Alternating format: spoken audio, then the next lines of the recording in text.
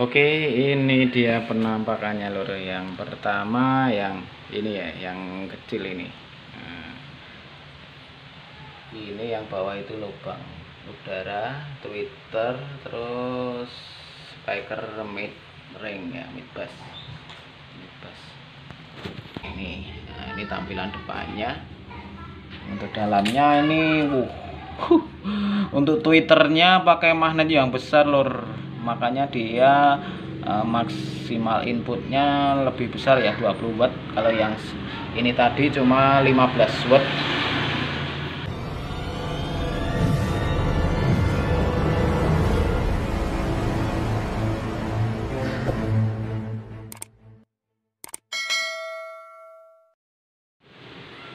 Halo, halo assalamualaikum warahmatullahi wabarakatuh Halo, ketemu lagi di channel Pantili Bralur. Di kesempatan kali ini kita akan uh, review uh, speaker tower ya. Kita akan review speaker tower bawaan TV LED Polytron ya, Lur. Dan ini uh, yang pertama ini uh, bawaan yang 32 in, Lur. Ada tulisannya Cinemax dan yang kedua ini ini juga bawaan 24 sampai 32 ada juga yang bawaannya seperti ini loh. Hmm, tapi eh, beda-beda bentuk juga tinggi juga berat lor dan ini yang gede ini leb, du, hampir dua kali lor kayaknya saya timbang-timbang itu beratnya dua kali yang kecil ini lor tapi untuk suaranya gimana? Perbedaannya nanti kita tes kalian lur dan uh, sebelum kita review uh, sebelum kita buka maksudnya maaf lur. Sebelum kita buka kita review sedikit lur. Ini ada keterangannya di belakangnya lur.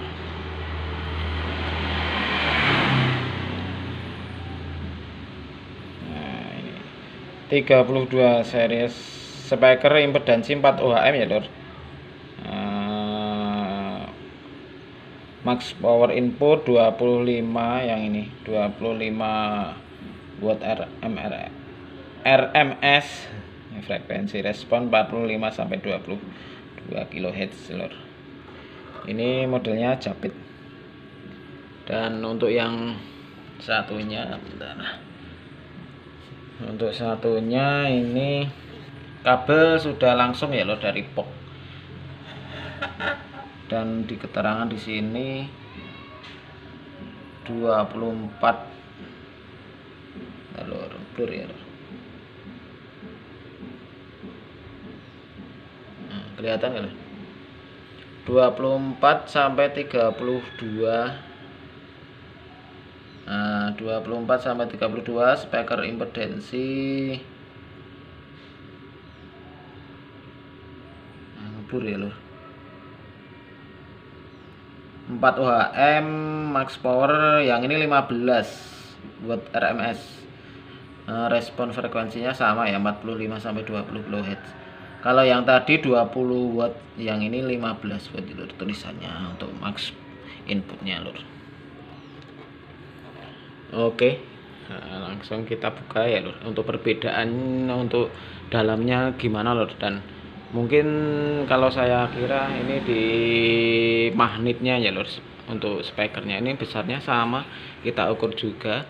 Uh, tapi mungkin magnetnya lebih besar ini soalnya berat atau karena ini uh, bas radiatornya ini yang bikin berat kurang tahu. Kita pokoknya langsung saja kita buka ya lor tetap ikuti videonya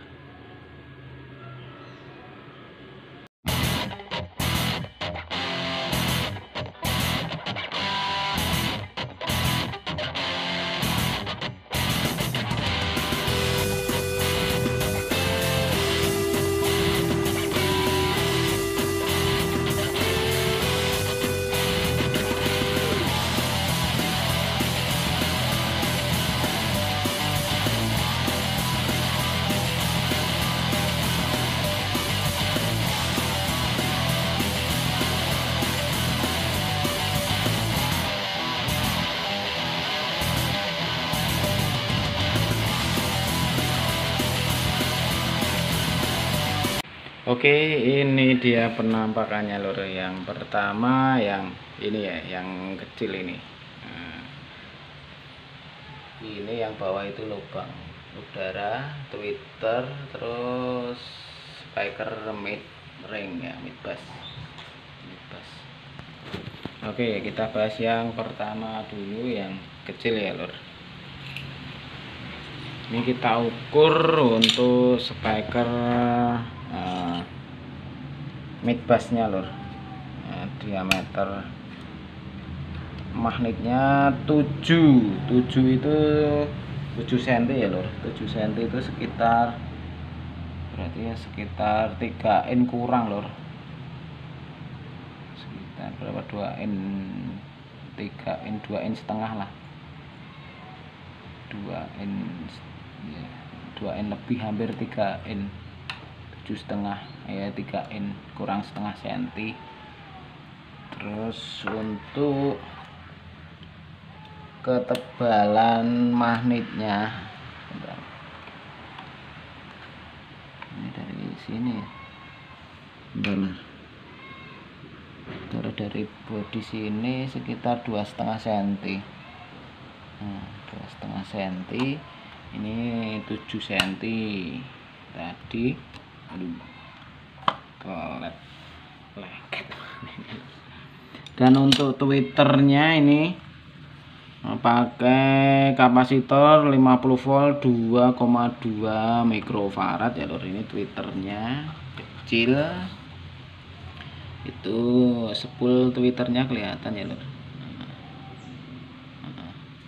terus yang satu itu cuma tutup depan lor tutup depan terus dilem pakai lem bakar. Uh, untuk sepulnya tidak disertakan. Jadi ini yang bunyi cuma yang atas lur. Yang bawah tidak bunyi hanya untuk variasi ini. Nah, ini. Hmm. kalau di depan sama tampilannya. Tapi uh, ternyata yang ada sepulnya yang cuma yang belakang yang tengah yang tengah yang ada sebel untuk twitternya. Jadi yang bunyi cuma satu terus ini mid bassnya. Oke dan ini corong udaranya modelnya seperti ini loh seperti terompet ya lor dari sini depan ke belakang terus naik lor panjang.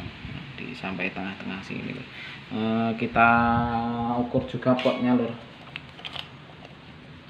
pot kita ukur sekitar berapa ini? 13 untuk panjangnya 13 terus belok ke depan ya lur.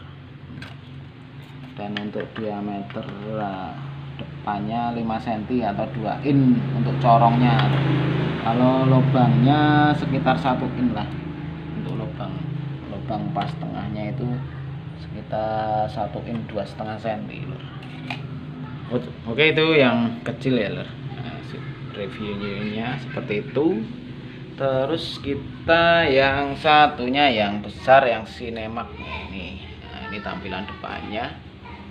Untuk dalamnya ini uh, uh, untuk twitternya pakai magnet yang besar lor makanya dia uh, maksimal inputnya lebih besar ya 20 watt. Kalau yang ini tadi cuma 15 watt. Kalau ini inputnya bisa sampai 20 watt tahan ini pakai 50 volt 2,2 sama. Kapasitornya sama persis untuk ukurannya 2,2 mikro. Nah, dan untuk mid bassnya ini lor. Mid bassnya sama kayaknya. Kita ukur lah. Kita ukur pakai sketman lah untuk diameternya. Sama lor nah, 7 7 cm hampir 3 in ya lor kalau 3 in itu 7 setengah. Terus ketebalannya oh, sama persis lor dua setengah atau satu in oke. Dan untuk ini yang twitternya itu diameternya juga sama. 7 uh mantep. Sama kayak magnetnya itu. Uh, ketinggiannya juga ketebalannya sama satu ini. Tuh bisa diukur. Menyelempit nggak sampai lur nggak bisa masuk gitu skatmatnya untuk mengukur kedalamannya sudah nggak ada lur yang belakang ini. Jadi nggak bisa mengukur detail ketebalannya. Dan ini untuk uh, bas radiatornya ya lur. Nah, ini pakai sistem bas radiator lur. Jadi di sini tidak memakai lubang udara yang besar ini lur. Kalau yang kecil ada pot ada pot seperti trompet ini ya buat lubang udaranya oke. Itu review dan perbedaannya ada di sini. Ini pengganti pot kalau ini pakai bas radiator terus twitternya pakai magnet besar. Kalau ini tanpa magnet ya lur ini cuma kecil tanpa magnet. Oke itu review singkat dan kita tes juga ya lor untuk suaranya gimana. Setuju nggak lor kita tes oke. Okay. nah, nanti perbedaan suaranya gimana. Kita tes pakai uh, head unit ya lor double din. Nah, ini cocok sekali untuk ruang apa kamar lor audio untuk rumahan atau kamar ya lor nah, ini sangat murah tapi tampilannya mewah lor nah, daripada pakai box eh, yang bikinan itu lebih simple ini lebih tampilan juga lebih mewah ya lur. Kita tes hasilnya gimana untuk eh, kamar sudah cocok atau belum? Kita dengarkan bareng-bareng kita sama-sama hmm, menilai ya lur nanti suaranya gimana lur? Tetap ikuti videonya. Salam satu. Oke untuk yang pertama kita tes yang besar dulu ya lor ini yang sinemak nah, ini kita tes pakai head unit double din ya lur. Merek Cina SDQ nah, kita tes langsung saja gimana untuk suaranya. Kita playkan lagunya lur kita keraskan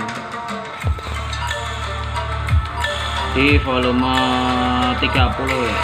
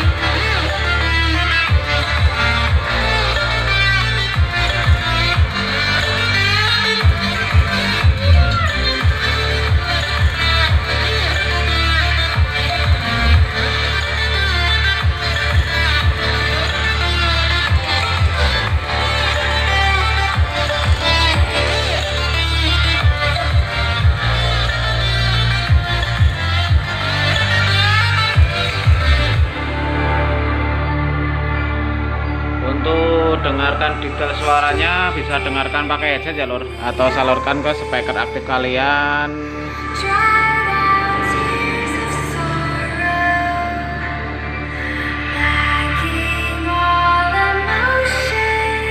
Oke. Okay. itu sekiranya cukup untuk yang ini. Kita tes yang satunya. Kita sambungkan dulu lur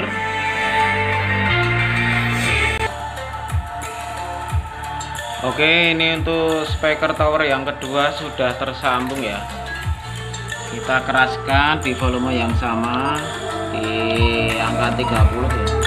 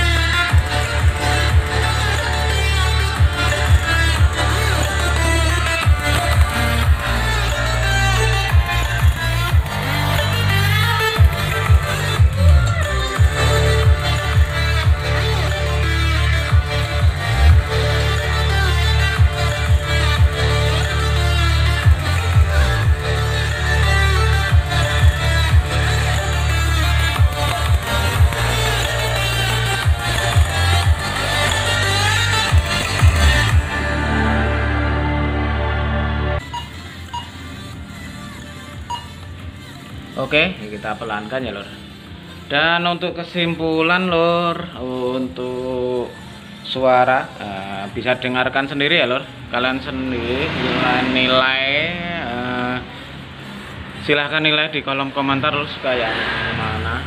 Nah, dan kalau menurut saya pribadi ini perbedaannya terutama untuk Twitter yang sangat menonjol lor untuk Twitter ini sangat ringan yang ini ya lur. E, karena kemungkinan ini kan modelnya nggak pakai magnet ya lur. Dan sangat cocok untuk head unit ini yang langsung tanpa power ampli yang besar lur. Mungkin kalau yang e, ke, pertama tadi dia kan max power inputnya 20 watt lebih besar dari yang itu ya lur. Dan ini kemungkinan untuk power yang besar seperti mungkin OCL atau apa itu mampu lur. Karena uh, untuk head unit ini kan maksimal power cuma 50 watt lur. Dan sangat cocok sekali untuk yang kecil ini lur. Treble-nya lebih enteng lur. Dan untuk bass sama ya lur. Dan spek spekernya juga sama uh, isiannya. Jadi untuk kualitas bass dan suara bassnya itu mantep. Dan ini sangat rekomend ya lur. Untuk audio rumah yang mau simple nggak besar uh, tampilan juga mewah murah lur. Dan ini banyak dijual di online shop ya lur. Di ecer ya lur. Nggak harus beli TV nya lur. Uh, oke. Okay. dan besok kita akan karena ini juga mau buat setelan kamar ya lur. Uh, ini besok akan saya buatkan setelah ini video audio rumah pakai tower ini satelit power polytron pakai head unit. Dan kita pak tambahin basoka lor. Kita tambahin basoka jadi uh, bassnya biar lebih enak lebih lembut nggak harus kenceng ya lor. Kalau speaker aktif kan dia harus muter volume yang kenceng untuk mengeluarkan untuk bass uh, bass subwoofernya lur beda dengan basoka. Basoka itu pelan bisa di apa besarkan bassnya lur. Kita akan konsep audio murah simple yang mantap sultan pokoknya. Habis ini lur. Oke itu tadi review singkat untuk kedua satelit power ini ya lur dari Polytron. Semoga bermanfaat. Dan itu sebagai bahan pertimbangan kalau misalnya Nah, ada sedulur yang mau membangun audio untuk kamar lor dengan remote dan silahkan uh, menilai sendiri untuk apa yang menurut kalian cocok. Tadi sudah saya reviewkan untuk suara juga di dalamnya lor dan uh, silahkan kalian sesuaikan uh, power yang kalian mau gunakan juga lor sekian dulu. Uh, banyak salah kata mohon maaf untuk video kali ini. Assalamualaikum warahmatullahi wabarakatuh